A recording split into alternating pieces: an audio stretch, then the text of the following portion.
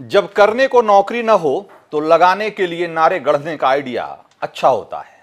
तभी तो आजकल प्रधानमंत्री कमोबेश हर मंच से कह रहे हैं हाउ इज़ द जोश? और नौजवान एक सुर में बोल रहे हैं हाई सर मैदान जंग का वॉर क्राई, जब इलेक्शन के नारों में तब्दील होने लगे तो समझ लीजिए कि सरकार के पास चुनावी मंचों से गिनाने के लिए कुछ ज़्यादा नहीं बचा है। नमस्कार, मैं हूँ रंजीत कुमार। समझने वाले तो कल भी समझ रहे थे कि आखिर सरकार एनएससी के बेरोजगारी वाले आंकड़े क्यों छुपा रही है। आज वो बात जग ज़ाहिर हो गई है। देश में बेरोजगारी के क्या हालत हैं, इससे जुड़ी एनएसएसओ की रिपोर्ट, जिसे सरकार ने अब तक जारी नहीं किया है, वो कुछ मीडिया संस्थानों के हाथ लग गई है। और इस रिपोर्ट ने रोज़गार के मोर्चे पर सरकार के सारे दावों की धज्जियाँ उड़ाकर रख दी है। एनएसएसओ की पीरियोडिक लेबर फोर्स सर्वे के मुताबिक 2017-18 में देश में बेरोजगारी अपने चरम पर थी। इतनी जितनी पिछले 45 सालों में कभी नहीं रही। छह दशमलव एक फ़ीसदी। वो सरकार जो हर साल दो करोड़ नौकरियाँ देने का दावा करती रही है, उस सरकार की ऐसी तस्वीर। शायद अब समझ में आपको आसानी से आ जाएगा कि आखिर प्रधानमंत्री Modi Uri the surgical strike के नारे को क्यों बार बार इतना उछाल रहे हैं? सरकार क्यों चाहती है कि आप उसका मूल्यांकन तथ्यों के आधार पर नहीं करें बल्कि भावुक बातों पर करें। क्यों कार्यकाल के अंतिम कुछ महीनों में सरकार को रामलला की इतनी याद आ रही है? नीतियाँ फ्लॉप सा, साबित हुई है शायद इसीलिए भाषण के मंच को और आकर्षक बनाया जा रहा है। मेडिसन स्क्वायर के तर्ज पर बने मंच और शानदार लाइटिंग के बीच प्रधानमंत्री को फिर से महान उपदेशक के तौर पर पेश किया जा रहा है। तभी राम मंदिर और सेना की बहादुरी का ज़िक्र भी पीएम बार बार कर रहे हैं। हमारी सेनाएँ हमेशा से बहादुर रही हैं और सारी दुनिया इस बात का लोहा मानती है। फिर प्रधानमंत्री बार बार सेना सेना, क्यों कर रहे हैं? क्या सैनिक, सैनिकों के बच्चों को शिक्षा और रोज़गार नहीं चाहिए? सेना के जवान से जब भी पूछा जाएगा हाउ इज़ द जोश? उनका जवाब हमेशा यही होगा हाई सर। लेकिन सरकार से जब पूछा जाए कि हाउ इज़ द जॉब्स? तो जवाब मिले, डाउन सर। ये अच्छी बात नहीं अच्छी बात तो यह भी नहीं है कि सरकार एक तो रोज़गार भी न दे और फिर बेरोजगारी के आंकड़े भी न बताए, लेकिन दोनों ही हो रहा है। फिर भी जब आखिरकार ये रिपोर्ट लीक हो ही गई तो सरकार ने झेप मिटाते हुए जो उनके अधिकारी अब कह रहे हैं, एक बार उनको भी सुन लीजिए। इतना कम नहीं हो सकता है। तो मगर ये सब चीज़ें जब हैं जब हमारे पास पूरा डेटा आ जाएगा तभी हम कर सकते हैं। मगर मैं मैं मैं आपका ध्यान इसमें बताना चाहता हूँ कि ग्रोथ जो है 11-12 परसेंट रेट की ग्रोथ जो नॉमिनल ग्रोथ है वो नहीं हो सकती अगर एम्प्लॉयमेंट नहीं बढ़ा हो। नया बिल्कुल नया तरीके से डेटा कलेक्ट हो रहा है इस बार जो पहले कभी नहीं होता था। और और जब दूसरी हो रहा है तो इसके लिए एक तो उसका जो चेंज है वो निकालना बहुत ज़रूरी है। और दूसरा ये कि उसका एक तरह से वेरिफिकेशन जो है वो भी बहुत ज़रूरी है। तो ये डेटा क्योंकि नहीं हुआ है और ये डेटा अभी भी प्रोसेस हो रहा है तो इसीलिए सरकार ने इस रिपोर्ट को अभी तक रिलीज़ नहीं किया था।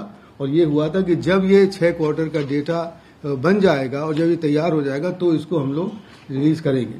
तो ये ये सूरत है। तो इसलिए इस डेटा को साइड करना मेरे ख्याल में गलत है और सबसे और भी बड़ी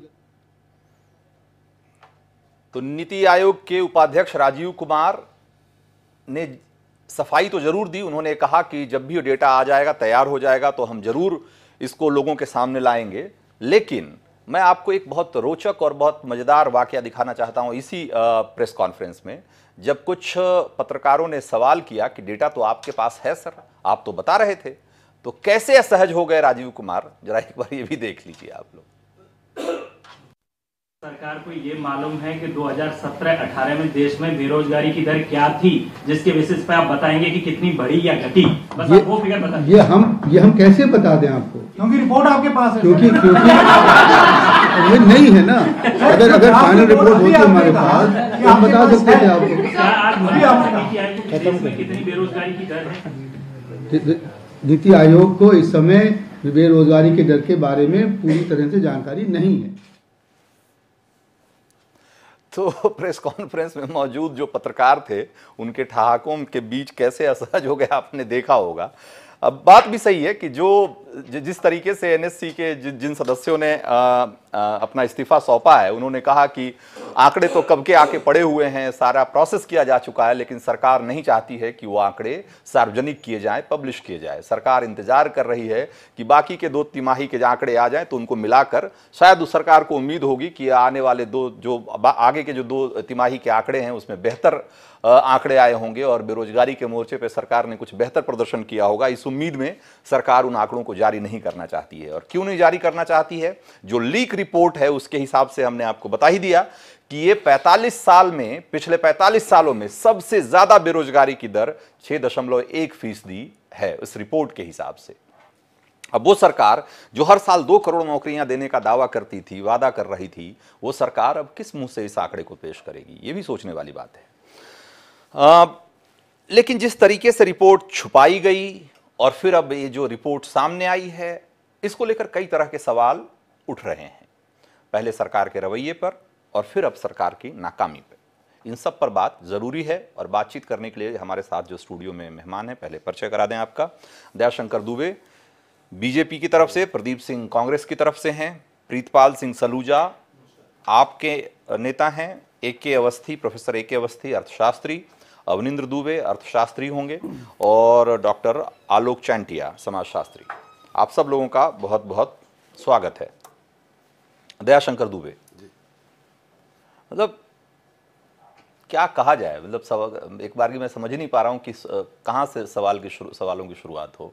भी पहले आंकड़े आप छुपा रहे थे अब जो सामने आया तो अभी कह रहे हैं कि तब भी आप ये नहीं स्वीकार कर रहे हैं कि आंकड़े आपके हैं जबकि ये आंकड़े एनएसएसओ के हैं और ये रिपोर्ट लीक हो चुकी है और उसकी हकीकत अब दुनिया के सामने है अगर इससे अलग इससे जुदा कोई अ, सच्चाई है तो वो आप बता नहीं रहे हैं फिर लोग क्यों ना इस पर यकीन करें भाई मुझे लगता है पहले लोगों को आवश्यकता है कि वो आपके चैनल पर यकीन करें हाँ। क्योंकि आप एक सम्मानित चैनल है और जब आप कह रहे होंगे तो आपका अपना स्रोत होगा हाँ। लेकिन पहली बार आज कुछ न कुछ ऐसा मुझे देखने को मिल रहा है हाँ। कि नीति आयोग के एक प्राधिकारी जो हैं जिनको अधिकृत किया गया है बोलने के लिए और वह स्पष्ट रूप से अपना पक्ष सरकार का रख रहे हैं। हाँ। यदि आपने प्रिपरेटरी स्टेज में उसमें से कुछ लीक आउट इन्फॉर्मेशन ले ली है अच्छी बात है ये आपका खोज करना आपका काम है आपने अन्वेषण किया इसके लिए आपको मुबारकबाद। लेकिन ये कह देना कि जॉब हुआ नहीं या इस रिपोर्ट को छुपाया गया। कोई सरकार किसी रिपोर्ट को नहीं छु, छुपा सकती और ना ही हमारी सरकार की ऐसी रिपोर्ट कोई है। रिपोर्ट दबाने के, स्पष्ट के आरोप में दो बड़े अधिकारियों ने इस्तीफा दे दिया स्पष्ट करना होगा कि NSC के दो बड़े अधिकारियों ने इस्तीफा दे दिया। अब और वो कैसे? और कौन कहेगा? अब देखिए होता क्या है कि हर आदमी का कहीं नहीं कहीं एक तो नेशनल एजेंडा है अब हाँ। जब व्यक्ति विशेष का अपना एजेंडा सामने आता है तो इस तरह की हाँ। हरकतें होती है इस पर मैं चर्चा नहीं करूँगा क्योंकि वो लोग बड़े गंभीर पदों पर थे हाँ। वो भी चीज़ आप ही के चैनल से आप देखिएगा हाँ। कि एक दो दिन के बाद खुल के आएगा जो वो क्यों ऐसा किए अच्छा लेकिन यदि सरकार की नहीं उनका तो जब खुल के आएगा तो आएगा। बिल्कुल आएगा तो खुल के आ चुका है कि आपने ऐसा क्यों किया? ऐसा आपने हुआ ऐसा इसलिए किया क्योंकि आंकड़े आपके फेवर में नहीं थे। आंकड़े आपके खिलाफ थे इसलिए आप ऐसा कर रहे थे। उनका जब खुल के आएगा तो हम तो देख ही लेंगे और जनता से कुछ छुपता थोड़ी सबको पता लग जाता कुछ है। नहीं छुपेगा। लेकिन लेकिन लेकिन मैं तो ये कह रहा हूँ। तैयार नहीं है हाँ। इसलिए रिपोर्ट अभी पब्लिक डोमेन में नहीं आई है। हाँ। जैसे आ जाएगी हाँ। थ्रेड थ्रेडवेयर एकदम क्लियर होगा। आप इसीलिए तो हैं। भाई मैं तो अच्छा काम मैं करते तो- हैं इसलिए तो करके दिखाते हैं। नहीं नहीं नहीं मैं तो ये कह रहा हूँ कि भाई कि अधिकारियों ने क्यों कहा? अच्छा, ये तो थोड़े देर क्यों इस्तीफा दिया? ये तो जब आएगा तब आएगा सामने। उन्होंने तो जो बताया वो वो पब्लिक डोमेन में है कि भाई सरकार आंकड़े दबाना चाहती है छुपाना चाहती है बेरोजगारी के इसलिए वो सरकार लेकर उनको वो उनको उन्होंने इस्तीफा दे दिया। इससे हाँ लेकिन और क्यों छुपा रहे थे? क्यों छुपा रहे थे? वो भी ये बात सामने आ गई एनएसएसओ एनएसएसओ की रिपोर्ट जो है वो कह रही है। कि छह दशमलव एक फ़ीसदी बेरोजगारी है जो कि आप सोचिए दो हज़ार तेरह चौदह में तीन दशमलव चार चौदह पंद्रह में तीन दशमलव सात सोलह सत्रह में तीन दशमलव नौ और सत्रह अठारह में छह दशमलव एक मतलब ऑलमोस्ट मतलब करीब करीब दोगुनी ये शायद इसी वजह से है क्योंकि स्तर पे है। है। आप इस, इसी बात को तो मैं लाना चाह रहा था। हाँ, क्या? ये शायद आपने आंकड़ा देके क्लियर कर दिया हाँ। कि ये सरकार जो है कुछ भी छुपाती नहीं है बल्कि हाँ। इसको ट्रांसपेरेंट नहीं, आपने कहा- आप अभी हाँ, क्या है प्रिपरेटरी स्टेज की एक लीकेज पाई है। मैं ये नहीं कहता कि वो छह होगा कि पाँच होगा कि चार होगा तीन होगा उसकी बात नहीं हो रही अभी। हाँ। जब एक अधिकारी ने उसको कहा कि ये अभी फाइनल नहीं है अब आप कह रहे हैं दो क्वार्टर यदि दो क्वार्टर की रोड यदि मिला भी ली जाती है हाँ। और यदि ये रिपोर्ट बेहतर होती है तो ये भी तो हमारी ही सरकार की की हुई नहीं तो होगी तब ना लेकिन नहीं, नहीं, होगी ना। सालाना आंकड़े नहीं एक मिनट तो- एक अच्छा, मिनट। दूसरा नहीं नहीं नहीं नहीं नहीं आप घालमेल कर रहे हैं। आप घालमेल कर रहे हैं दयाशंकर दुबे। जी। सालाना रिपोर्ट जारी की जाती है और जो सालाना रिपोर्ट है वो तैयार हो चुकी है। आप उस रिपोर्ट को जारी नहीं कर रहे हैं। जो आरोप है आप- आपकी सरकार पे कि वो आप वो सालाना रिपोर्ट आप जारी नहीं कर रहे हैं। भाई आप एक आप ऐसा थोड़ी है कि आपको आपको अगर आंकड़े अच्छे आ गए हैं तो आप एक साल के बजाय डेढ़ साल का आंकड़ा मिलाकर पेश कर देंगे और कहेंगे कि नहीं हम हम हम बेहतर कर रहे हैं। मतलब ये तो तरीका नहीं हुआ ना जब भाई सत्रह सत्रह अठारह की जब नहीं एक मिनट अगर वित्त वर्ष सत्रह अठारह की बात होगी तो सत्रह अठारह के आंकड़े ही तो आप दिखाएँगे ना कि आप कि उन्नीस के आंकड़े दिखा देंगे उसमें। सत्रह अठारह के ऑलरेडी आंकड़े पटल पर है कहाँ वो सब नहीं है ना नहीं है रुक भाई। सोलह सत्रह तक क्या सोलह सत्रह आपने पब्लिक कर लिया पब्लिक हाँ, डोमेन में आ हाँ, गया हाँ। सत्रह अठारह का कुछ एक चीज़ें आपने डाली है अपने अंदेशे से सोर्स क्या है वो आपको पता है हाँ। क्योंकि वो आपका भी अपना सोर्स होता है मीडिया हाँ। जगत का मेरा कहना यह है कि जब ये फाइनल हो जाएगी तो रिपोर्ट आ जाएगी लेकिन हाँ। अब सरकार का पक्ष क्या है हम्म। कि हमारी तरफ़ से कहीं कोई चीज़ छुपाने की न कोशिश है ना कुछ। हम्म। टोटल ट्रांसपेरेंसी है। इसी वजह से आप देखेंगे कि चीज़ें साफ़ निकल कर दो लोगों ने रिजाइन क्यों किया? ये भी एक बहुत बड़ा प्रश्न आपने उठाया है।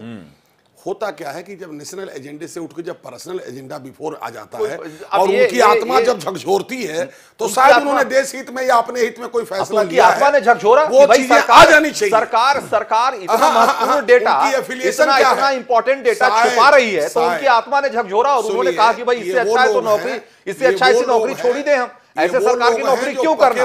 जो जो अपने जनता से छिपा रही है। इनका कल्चर किसी के साथ उसकी मनसा के अनुसार कार्य करने का है हाँ। इसलिए उनको दूसरी सरकार जो है भाती नहीं है अब ये मौका है चुनाव आने वाला एक दो महीने में ऐसा कुछ कर देंगे तो आप- हो सकता आप- है कि जहाँ उनकी निष्ठा है ये- वहाँ पर थोड़ा अच्छा लगेगा। ये दिक्कत है ना कि भाई जो लोग आपके खिलाफ बोले आप उनके निष्ठा पे आप सवाल खिलाफ तो मैं उनका उनका कैरेक्टर सर, करने लग जाइए। उनको उनको देशद्रोही साबित कर दीजिए। भाई यही होता है यही हो- यही कर रही है यही कर रही है आपकी पार्टी। सर बड़े आदर से कहूँगा जाता मैं काफ़ी चैनलों पर हूँ। हाँ। आप ही हैं जो मुझे एकदम ठोक पीट देते हैं। लेकिन उसके बाद भी आपका आदर कम नहीं हुआ और हमने कभी नहीं, नहीं। कहा कि आप हमारे एंटी पार्टी हैं हाँ। ये गलत बात है हाँ। ये चीज़ कहना कि विद्वानों तो की क्यों बात का जवाब हमको तो देना है जो आदमी और वो हम देंगे पीसी आपके ऊपर सवाल नहीं। मोहनन जो स्टैटिस्टिकल सर्विस के जो जो अधिकारी रहे। बहुत रिक्वेस्ट बहुत मैं वही कर रहा हूँ बहुत रिप्यूटेड बहुत रिस्पेक्टेड समझिए हाँ। कि बहुत लोग बहुत सारे सवाल करते हैं वहाँ जवाब भी होते हैं उल्टे सीधे हाँ। और मैं देखा हूँ कि यहाँ के जो चैनल है हाँ। मैं सीधा openly I am in air open air कोई दिक्कत ही नहीं है हाँ। आप बहुत सारे सवाल करते हैं हाँ। लेकिन कभी हमने आप पर तो आरोप नहीं लगाया हाँ। कोई आरोप नहीं है हमारा हाँ। आप अपना काम कर रहे हैं आपका स्वागत है हम आपके साथ हैं तभी तो बैठे हैं यहाँ पर हम हाँ। आप अपना अच्छा कर रहे हैं हाँ। तो इस तरह से हम क्यों किसी के ऊपर आरोप लगाए नहीं तो आप लगा रहे हैं ना उनका पीसी मोहनन को उनका- आप करें उनका उन एजेंडा होगा का जो क्यों एजेंडा होगा भाई उन दोनों का जो है हाँ। उनके ऊपर भी लोग हैं उनके साथ हैं कंसल्ट किया क्या कंसल्ट किया क्या कि सिर्फ़ दिल किया और उसके बाद छोड़ दिए ऐसे नहीं होता है। हाँ। हर चीज़ का लोकतंत्र में एक कायदा नियम बना हुआ है। ऐसा करने लगे तो हमारी सेना ही ले लीजिए उठा करके। वो तो पूरी छोड़ के बैठ जाए क्योंकि उसके मन के हिसाब का जहाज़ नहीं मिला था और ये नहीं मिला था लेकिन ऐसा होगा नहीं। एक लोकतंत्र की प्रक्रिया निर्धारित है उसके थ्रू इनको भी करना चाहिए था। अब तो ये नया फ़ैशन हो गया कि कोई कहीं से कोर्ट से बाहर निकल के आ जाता है अपना प्रेस कॉन्फ्रेंस कर लेता है कोई उसका क्योंकि कहीं ना कहीं कुछ ना कुछ उसका व्यक्तिगत जो है अपना एफिलिएशन होता है। वो एजेंडा चल रहा है या सिर्फ़ उसी एजेंडा का ये हिस्सा है और उसी पर डिस्कशन हो रही है। बाकी विद्वान बैठे अपना विचार रखेंगे। प्रदीप यहाँ शास्त्री भी है राजनीतिक भी है लोग बात